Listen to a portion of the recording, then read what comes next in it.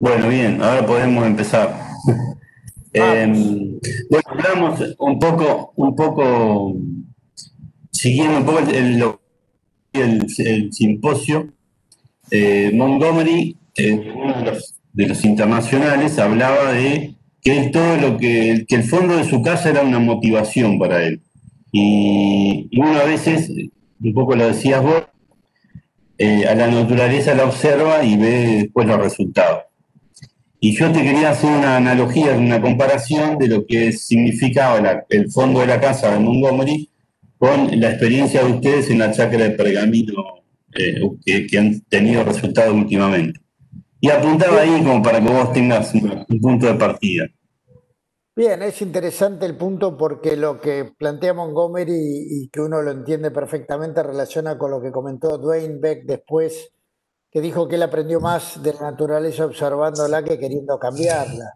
Por lo tanto, esa sensación que tiene Montgomery, que transmite eh, a través de la observación de un jardín, que uno puede pensar un lugar de intervención muy pequeño, donde no, no hay mucho, mucho para mirar cambios o observar, es en realidad una muestra más de lo que es la naturaleza, que en la presencia muchas veces comentamos que es, tiene reglas universales, no, cambian las reglas con los países o la forma de funcionar la naturaleza, sí lo va a hacer en el contexto de las distintas cuestiones de temperatura, radiación, eh, viento, latitud, etc. Por lo tanto, sin lugar a dudas que la, la mirada del agricultor tradicionalmente ha sido un elemento muy importante para saber lo que se hace bien y lo que se hace mal. A veces eh, se sabe que se está haciendo mal, pero no hay alternativas. Y desde ese punto de vista creo que la experiencia que vivimos nosotros en la chacra, que fue casualmente Dwayne Beck, cuando nos visitó en 2009, una de las tantas veces que vino a Argentina, de la mano de la Fundación Producir Conservando, con, con productores de Apreci, de, en las distintas giras que hizo. Él en ese momento estábamos en el 2009 en un tremendo rastrojo de maíz de, casi 14 toneladas y la pregunta sencilla que hizo, eh, ¿qué van a sembrar ahora? Y la respuesta fue, no, este lote va a soja. Y él dijo, ¿cómo a soja? ¿Cuándo siembran soja? En, octubre, y esto era en abril, pero dice, faltan seis meses. O sea, eh, ¿cuánto llueve acá? bueno, en el año llueve mil milímetros. Entonces, si vos te llueve mil milímetros, tenés tremendo rastrojo eh, de maíz, ¿qué vas a hacer en estos seis meses? Este, ¿Cómo no producís algo más? Y eso fue de alguna manera algo que parece obvio, pero que muchas veces nosotros observamos cuando andamos por la ruta, fue el disparador de ver de qué manera un grupo de productores en siembra directa de muchos años, había como todo grupo, algunos un poquitito más intensos en rotación y diversidad y otros un poquito menos o casi en el límite, poniendo en la, como límite esa rotación trigo, soja, maíz, soja de primera, como una zona de confort, llevó a que pensáramos en, alternativas para ver cómo podíamos aumentar la intensificación, no prestar atención a los resultados económicos, fue una decisiones agronómicas, y eso llevó a, a la chacra armar una serie de rotaciones que fue desde la menos intensa eh, y diversa trigo soja, maíz soja, al otro extremo a una pastura consociada en forma permanente. Por supuesto que acá, y algunos nos preguntan a veces, pero no hicieron soja continua, no, porque era algo que ninguno de la, de la regional hacía. Y, lo que nos permitió eso fue ver eh, todos los cambios y el impacto en muy poco tiempo, y eso es algo que marcó Luis Wall hoy cuando empezaron el estudio, tomaron muestra y Luis siempre lo cuenta como una anécdota, que él no esperaba ver grandes cambios. Dijo, bueno, arranquemos, pero en tres años va a ser muy difícil. Le dijimos, mira, nosotros no tenemos fecha de finalización. Pueden ser tres, seis, nueve, van a ser módulos de tres años como una cuestión presupuestaria, básicamente. Claro. Todas las distintas eh, franjas que hicimos con distintas rotaciones una misma rotación de muchos años de siembra directa, casi todos los sitios tenían 20 años de siembra directa como común denominador, eh, tuvieron eh, cambios a los tres años en las características o en las propiedades este, biológicas del suelo, empezó a notar notables diferencias. Y eso es lo que, de alguna manera, el disparador de la pregunta de Dwayne llevó a, ir mirando cuáles rotaciones dónde llevar la intensidad y diversidad del sistema de producción en nuestra zona, que es norte de Buenos Aires. Incluso un, un error metodológico en el razonamiento Inicialmente fue probar lo que llamamos la bomba de carbono, que eran cultivos de gramíneas en forma permanente, con fertilización, que, además las franjas tenían una, una sobrefertilización, para darnos cuenta que no, no había nitrógeno que alcanzara a devorar ese carbono cuando era nitrógeno aplicado desde el exterior. Y eso después nos permitió cambiar la rotación y llevar a los resultados que mostramos de la chacra. Entonces, cerrando tu pregunta inicial de la observación de Montgomery, sin lugar a dudas que hemos disfrutado la chacra como si fuera el jardín de nuestras casas. Claro. ¿eh? En, ese proceso. Bien, César. Eh, hay, algunos problemas de conexión. Yo calculo que está saliendo igual. A veces tu imagen desaparece, pero se queda la voz.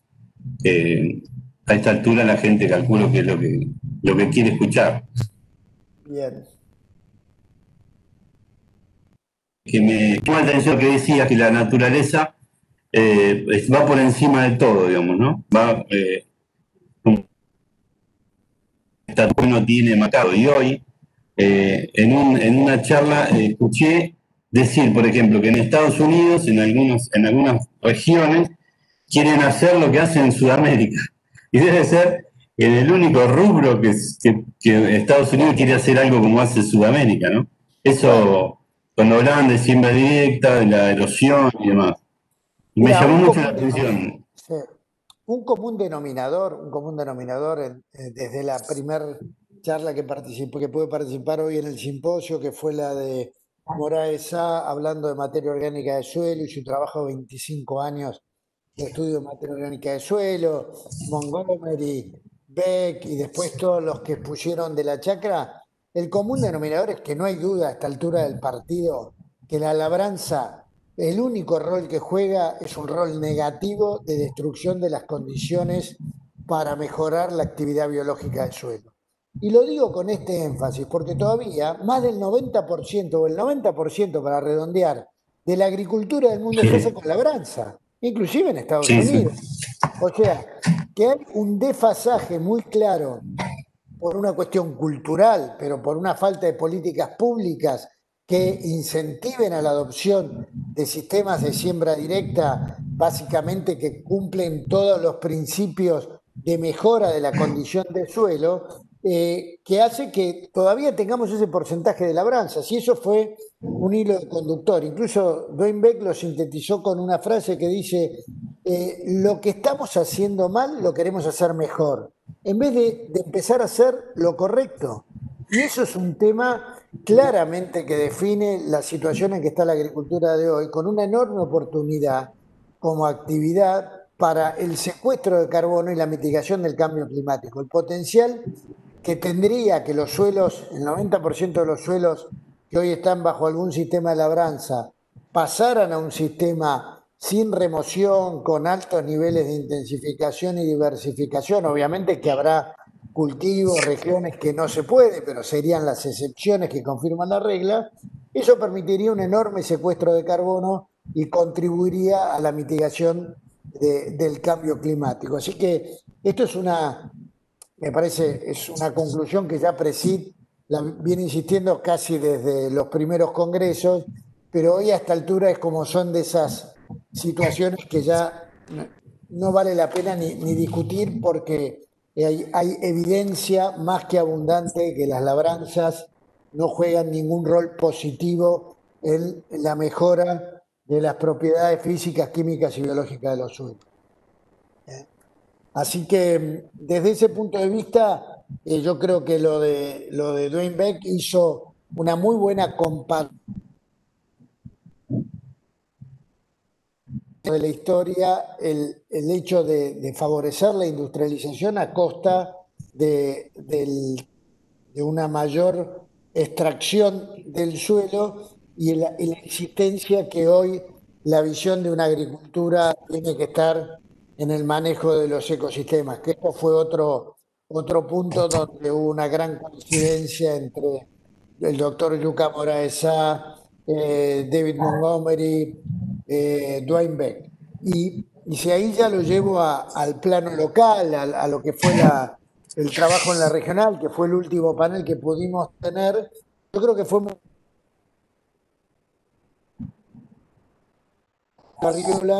del factor tiempo. Esto lo hablamos muchas veces, pero generalmente es un insumo poco considerado y en cualquiera de estos sistemas en siembra directa que uno busca alta intensidad y diversidad, lo que necesita es que sean estables en el tiempo, que persistan en el tiempo, porque eso hace a través de esa intensidad de cultivos y diversidad de cultivos que se logre una mejor interacción carbono-nitrógeno, que fue lo que demostró eh, en un estudio de 25 años, la importancia que tiene el nitrógeno para estabilizar ese carbono dentro de los sistemas. Así que ese es otro, otro punto muy, eh, muy importante. Del, del, panel yo destacaría otra cosa que me pareció eh, que a veces no se percibe, pero lo que logró el sistema Chakras y, lo destacó Guillermo Peralta, también Marcetti, la importancia de la interacción entre los productores y la academia, o sea, la visión sistémica de la producción con la ciencia eh, permitió generar eh, mucho del conocimiento que compartimos hoy, inclusive que hubiera, como contaba Guillermo Peralta, eh, tesis de grado o de posgrado, o Martín en estudios que se hicieron en conjunto con la universidad para estudiar dinámica del suelo en sistemas que a veces no, no, no son frecuentes en, en la rotación. Así que ese punto me parece que es muy importante, no va directamente a, a, en el corto plazo, se quiera, al bolsillo del productor, pero es la base de conocimiento que después permite hacer la agricultura eh, basada en el conocimiento, que es lo que proponemos desde APRESI. Te estás yendo y viniendo también con, el, con la imagen. ¿Vos me estás escuchando, Juan Carlos?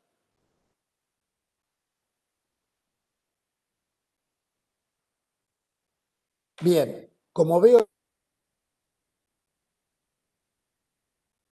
y llegue a, los que están en el vivo para ir manteniendo el, comentario. Yo creo que es importante la, los comentarios de Guillermo Peralta que habló sobre el tema de la, intensidad, sobre todo considerando que la intensidad de cultivo también es intensidad de tránsito. Y en realidad los, los datos que mostró es que no hay ninguna, por lo menos los estudios hechos en la chacra, que a mayores intensidades de, rotación de cultivos haya eh, problemas de eh, cantidad de, mayor cantidad de bloques o estructuras masivas. Por el contrario, mostró resultados muy interesantes que a mayor intensidad de rotación hay una mejor estructura del suelo. Incluso él propone, proponía trabajar sobre nuevos indicadores químicos y biológicos, que fue algo que después destacó ya Luis dando, dando precisión. Y, en ese camino de, los, de las exposiciones de la chacra, lo que fue muy interesante de, mostrar que hubo un cambio de abundancia relativa, pero no cambió para el periodo que evaluamos la cantidad de malezas. Sí funcionaron, funcionaron esas rotaciones como filtros para que dependiendo de la rotación hubiera más abundancia relativa de una maleza o la otra, pero el mayor impacto, y esto es muy importante destacarlo en momentos en que hay una gran controversia acerca de, la agricultura que tiene, basada en siembra directa, que tiene en un uso responsable de agroquímicos, eh, la manera de, de, complementar el control de malezas que hacen las rotaciones, es que a mayor intensidad de rotación, o sea, mayor presencia de cultivos, eh, había una clara diferencia en la cantidad de aplicaciones. Él llegó a mostrar en, la rotación trigo, soja, maíz 40 aplicaciones para todo el periodo de años eh, respecto a 20 que tenía una rotación donde entraba cultivo de cobertura como, la vicia. Pero además esa menor cantidad de aplicaciones derivaba a su vez en, una menor toxicidad tanto mamíferos como para insectos. Y este es aspecto del panel para los temas que se están eh, discutiendo hoy. Y finalmente, Luis, que abordó un tema muy, muy técnico, inclusive que se nos basta de la agronomía, porque tuvo una visión muy asociada a la bioquímica del suelo, que es su especialidad. Eh, él lo sintetiza dando resultados que para nosotros fueron muy estimulantes en la medida que él nos lo fue presentando, es que el manejo agrícola, cómo uno maneje a través de la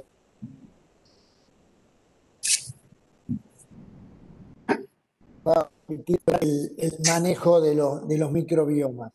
Y esto él mostraba lo que en, palabras difíciles es la teoría geométrica, que no es más que un criterio de salud del suelo, que fue estudiado en, en los suelos sin disturbar, pristinos, y lo que llegó a observar en los, nueve años de la chacra nuestra es que las, los tratamientos de mayor intensidad tenían esa relación geométrica, o sea, ese criterio de salud similar a lo de los suelos prístinos. O sea, esto es otro elemento contundente que muestra la importancia de eh, el cuidado o la mejora en las condiciones del suelo a través de las decisiones de manejo que hagamos en nuestras rotaciones.